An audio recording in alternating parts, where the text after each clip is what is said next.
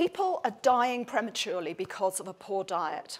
Globally, around 800,000 people are undernourished, but what we've seen happen is a, a huge shift. So over 2 billion are now overweight, and that means the pattern of diet-related disease is changing, with a huge rise in type 2 diabetes, heart disease, and some cancers. In rich countries, we eat too many calories, too much fat, sugar, salt, too much meat, too little vegetables, legumes and nuts. And that's a foretaste of the global problem to come. As other countries' economy develops and they transition, abandon traditional foods and move in to a more globalized diet. The rise in obesity which follows is not a change in our genes, it's not a collapse in willpower, it's about a change in the food system. Food becomes more abundant, convenient, and is heavily marketed. And if we overpurchase, we overconsume. And that's exacerbated by low activity levels. We've swapped those manual jobs for office jobs, and our lifestyles are dominated by cars and screens and labour-saving gadgets. Who actually needs an electric pepper grinder? We can't turn the clock back, so we've got to transform our food system so it's fit for the 21st century. So the agricultural revolution brought us more food more cheaply and to more people, which is great. But now the emphasis needs to be on a more sustainable food system. Good for health, good for the planet too. We are in an era of extraordinary innovation in the food system. But I think it's important to note that many of these are small startups. They're niche businesses serving uh, small markets. We need big business to step up to the challenge too if we're going to be able to deliver change on a global scale. So what are some of the things that I think we can do? I think we need better labelling.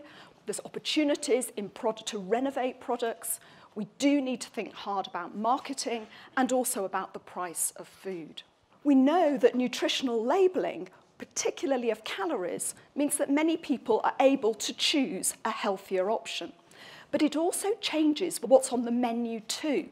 So I think the question now is can we also use better labelling to encourage people and businesses to make more sustainable choices too? When it comes to product renovation, there are big opportunities to uh, make every product the healthiest and the most sustainable it can be of its type. So, for example, setting stretching targets to reduce the amount of sugar in foods, and this is an example from the UK. We also need to ensure that portion sizes are appropriate for energy needs. And then we come to marketing. It's not just children that need protecting from marketing. We're all susceptible to the lure of a glossy advert or a, a multi-buy bargain. We need to look again at how uh, we're promoting foods. And then price. We need a much more coherent policy discourse about the price of food, one which really considers the true costs of production and the real impacts of consumption.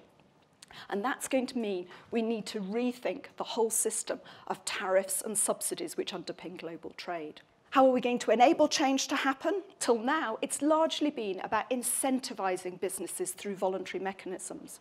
But we're seeing more and more governments now look to use their legislative powers. So things like sugary drinks taxes or restrictions on marketing of foods. And I think research is really stepping up to this and putting much greater scrutiny on the public health credentials of companies.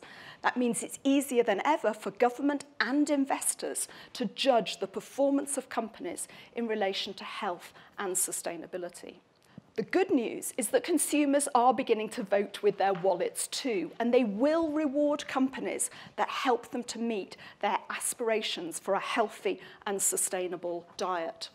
we know that with the speed of modern communications, what starts as a small niche rapidly can become a global trend. But of course, it also means that the recalcitrant companies can be punished very quickly indeed. We've got governments uh, um, and consumers are now looking to businesses to help create this new food system. It's a moment of tremendous opportunity, but what we need to recognise is this is no place for business as usual. We have got to transition to a situation of business unusual. Thank you.